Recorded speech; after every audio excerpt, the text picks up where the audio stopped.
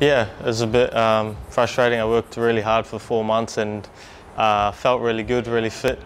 Uh, but you know these things happen, and um, yeah, it gave me a bit more time to get ready, I guess. And uh, I'm really excited to get started tomorrow night. And um, but uh, I think they've been doing really well. Hopefully, I can add a little bit more quality um, to the team, and we can kick on from here. Historically, they're a tough team to come up against, especially uh, in Newcastle.